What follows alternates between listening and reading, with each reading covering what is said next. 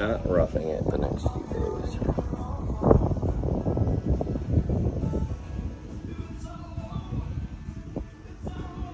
Cool place.